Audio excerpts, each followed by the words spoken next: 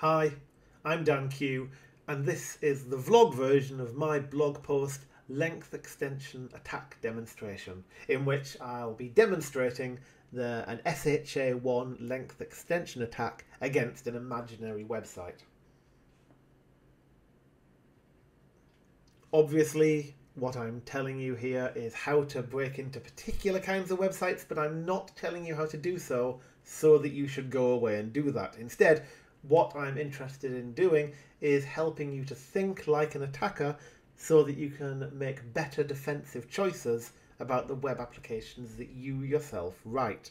I'm a firm believer in the attack first methodology to security training, and so people should, in my opinion, learn how to attack applications so that they can learn how to be better defenders. Let's have a look at the, my test scenario. Here's my imaginary website. It's called Images R Us and it's a stock photo website. We've got a license for one of the images, an image called Free here, uh, which you can see because we can click the download link to get it. Brilliant we can't access the valuable image. We're not paying that much for it.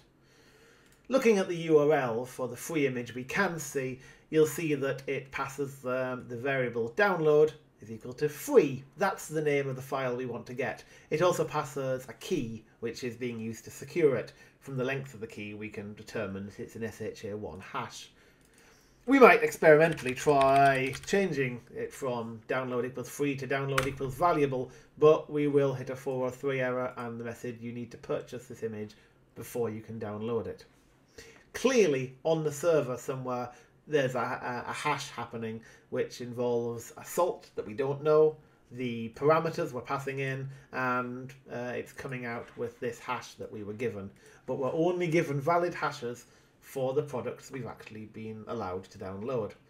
You see this paradigm used in all kinds of places anti-hot linking scripts, um, serial number validation, both on and off the web.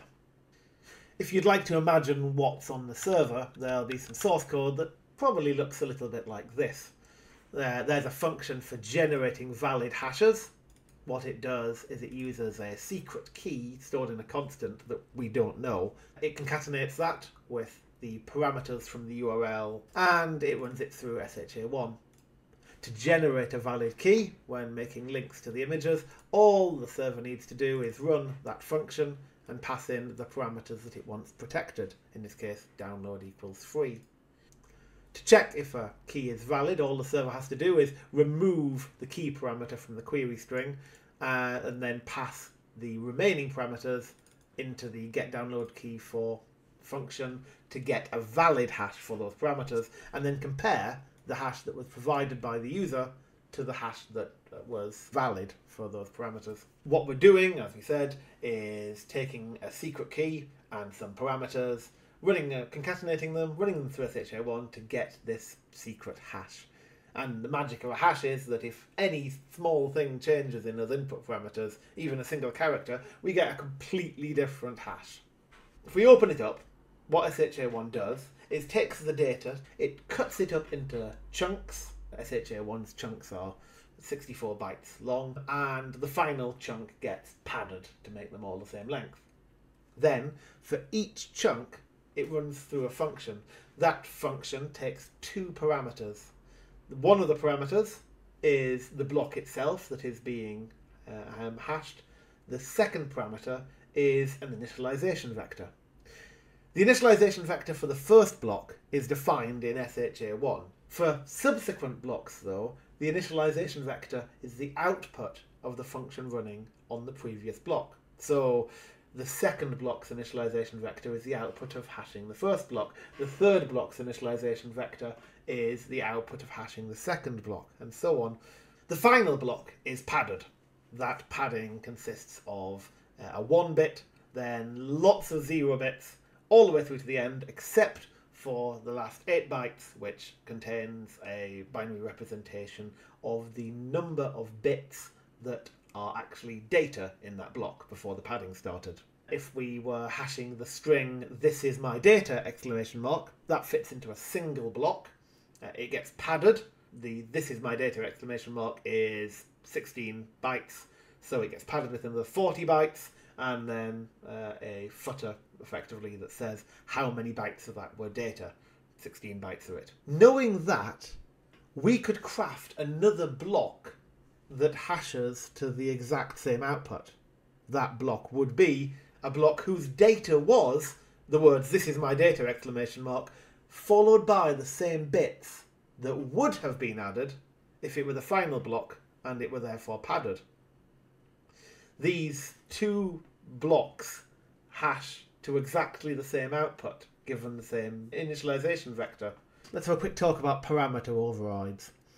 Images.rs is written in PHP, and PHP, like many server-side scripting languages, has a particular way of handling input variables that are duplicated. If we were to pass one is foo, two is bar, one is baz, what PHP and most other server-side scripting languages do is they override the value uh, one with baz. What we're going to try to do is pad the existing value, knowing what that will output as the um, initialization vector for our new block, and put our ampersand download equals valuable into the new block, which we can then generate a hash for. Let's see how that looks. Here's our existing blocks. This is what's happening on the server. Yeah, There's a secret key, which we don't know, and then there's our message, download equals free, and then there's padding, and then there's um, the length of the data. And that all gets run through the algorithm, and that's where the genuine valid hash comes from. So we need to extend the string, so we're passing download equals free, followed by an appropriate number of padding bits.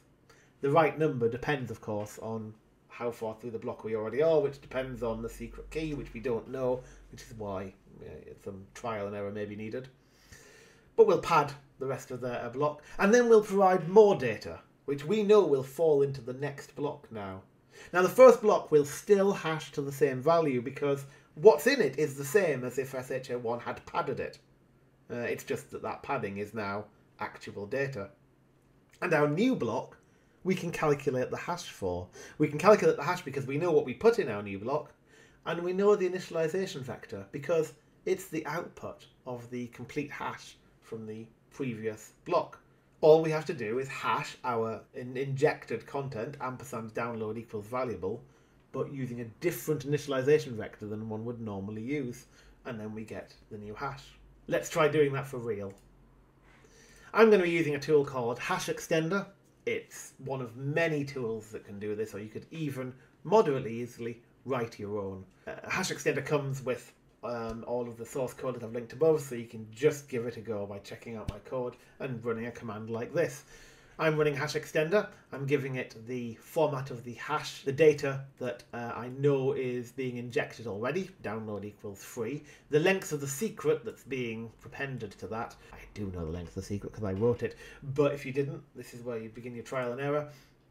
The known valid signature that was output from that the information I would like to append after, after my padding and the format you'd like it output in. Format HTML is probably most useful for doing this kind of attack, though it does have some caveats we'll come to in a moment. Pretty much instantaneously gives us a new string to inject um, instead of the existing download equals free, uh, and a new signature that results from concatenating this extra block on and running the hash with the new initialization vector.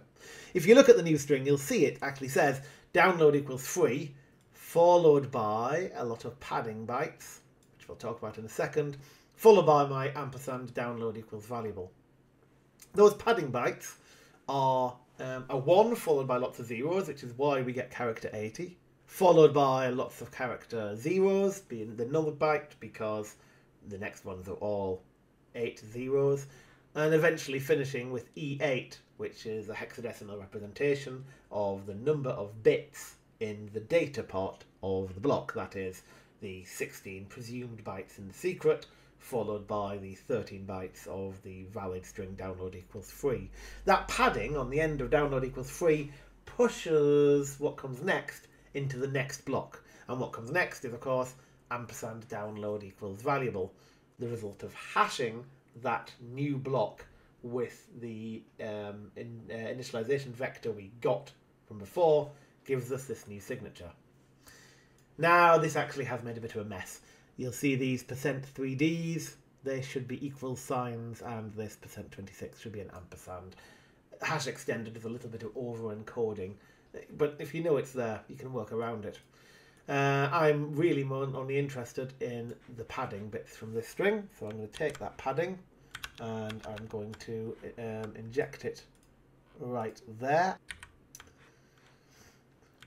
Um, and then I want my ampersand download equals valuable. So I'm going to type onto the end of that. Ampersand download equals valuable. And then finally, I'm going to replace the key with the newly calculated key. And when I press enter, hopefully, I've stolen the valuable image.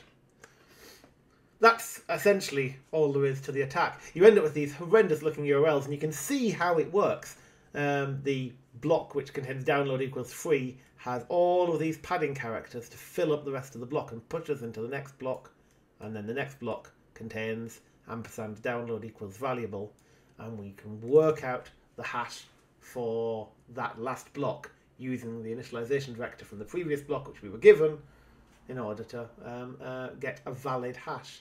This simple example used a valid string that was only in a single block and an um, injected string that was only in a second block. But the same principle works for any number of blocks, and the tools that will do it for you will just do it. Now, if that's a little scary, it's probably because you've written code that would be vulnerable to an attack like this. I know I have. How do you defend against it? Well, the essential part of it is that you should be using a HMAC. Uh, HMACs are your friend here. Let me repair this code into something better. Uh, if I go uh, in PHP, um, hash hmac uh, sh, uh, sha1, uh, passing in the URL decode params there, and my secret key. I should go one step further though, and rather than using triple equals to compare the known valid key to the one that the user provided, which is vulnerable to timing attacks, um, I ought to be using uh, a function for that purpose called uh, hash equals.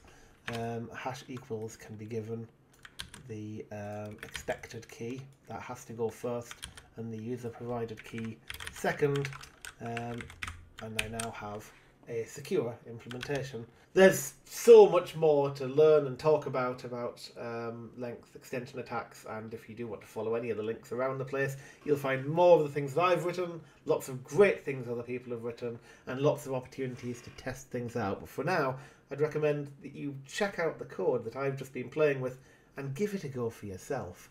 Because the best way to truly understand all of these things is to try to exploit them. I'm Dan Q, and I've been talking about SHA1 length extension attacks with a demonstration. Please look around, find a link to the original blog post. It's probably better.